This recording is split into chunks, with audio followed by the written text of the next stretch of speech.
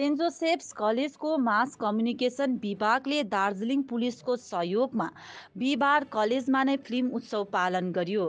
जसमा मास कमका विद्यार्थीहरूद्वारा विभिन्न विषयमाथि निर्माण गरिएका एक्काइसवटा लघु चलचित्रहरूको प्रदर्शन गरियो। सचेतना नाम दिएर आयोजना गरिएको यो फिल्म उत्सवको मूल उद्देश्य सामाजिक सचेतना ल्याउनु हो जसमा ड्रग्स ड्रिङ्किङ एन्ड ड्राइभिङ साथै अन्य थुप्रै विषयहरूलाई समेटेर निर्माण गरिएका एकदेखि दुई मिनटसम्मका चलचित्रहरू सामेल थिए। विगत नौ वर्षदेखि सेन्ट जोसेफ्स कलेजको मासकम विभागले लगातार यो फिल्म उत्सवको आयोजना गर्दै आइरहेको छ।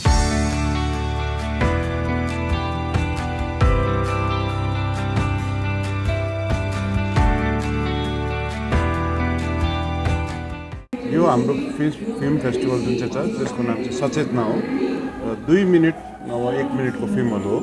र यो चाहिँ सोसियल अवेरनेस ल्याउनुको लागि अन भेरियस टपिक्स है जस्तो ड्रग एडिक्सन भयो तपाईँको ड्रिङ्किङ एन्ड ड्राइभिङ जेन्डरको इस्युजमा छ है ट्रान्सजेन्डरको इस्युजमा पनि छ। धेरै चिजहरू जुन चाहिँ हाम्रो नानीहरूलाई अहिले सताइरहेको छ उहाँ स्टुडेन्टहरूले नै टपिक चुज गरेर उहाँहरूले नै फिल्म बनाउँछ र हामीले यो फिल्म फेस्टिभल गरेको नौ वर्ष भइसक्यो र दिस इज टु थाउजन्ड थर्टिनमा हामीले दार्जिलिङ पुलिससँग मिलेर गरेको थियौँ र अहिले पनि हामीले after nine years we are doing it with the association with Darjeeling police र हामीसँग धेरै मिडिया पार्टनरहरू पनि छ उहाँहरूले चाहिँ यो फिल्महरूलाई चाहिँ पब्लिककोमा लानु। हामीलाई एज मास कम्युनिकेसन डिपार्टमेन्टलाई चाहिँ हेल्प गर्छ।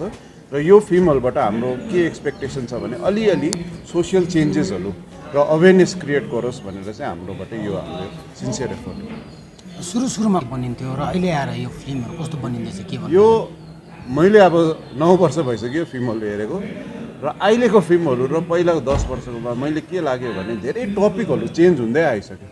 र अहिलेको अब जस्तो यो यो पर्टिकुलर एडिसनमा जस्तो एउटा हाम्रो फिल्म छ पर्न पर्न एडिक्सनमा यो पनि अब एउटा अहिलेको युवाहरूलाई मेबी यो पनि एउटा प्रब्लम भइरहेको छ। अहिले भर्खर हामीले एउटा हेऱ्यो सोसियल मिडिया नभए अब मोबाइल फोनको एडिक्सन त्यो पनि एउटा अब थिम भइसक्यो र पहिला हामीले हेर्दा ड्रग एडिक्सन है यो अरू अब स्मोकिङहरूको हेर्थ्यो। तर अहिले त्योभन्दा पनि अलिकति अझै डाइभर्स हुँदै र नयाँ नयाँ थिमहरू जोडिँदै जाँदैछ जेन्डरको इस्यु भयो ट्रान्सजेन्डरको इस्युमा पनि फिल्म छ।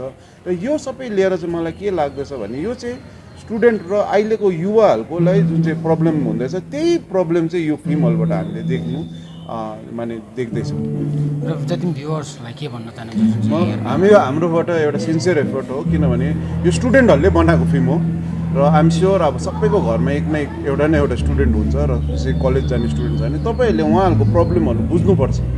र अब पहिलाको जस्तो छैन अहिले अहिले त नानीहरू ठुलो भइसक्यो अलिकति बात मारेर हो कि अलिकति उहाँहरूको प्रब्लम्स बुझ्नुको लागि धेरै हामीले चेष्टा गर्नुपर्छ र यो फिल्महरूबाट पनि तपाईँले पनि बुझ्नु सक्नुहुन्छ द्याट के what are they going through यो एउटा हाम्रो एफर्ट हो र तपाईँहरूकोमा यो मैले स्टुडेन्टहरूलाई पनि भनेको छु उहाँहरूले पनि यो फिल्म हेर्दा अलिकति सोसियल चेन्ज क्या चेन्ज चाहिँ आउनुपर्छ। राम्रो दार्जिलिङको लागि एउटा चेन्ज ल्याउनु चाहिँ हाम्रोबाट एउटा एटेम्प्ट हो यो।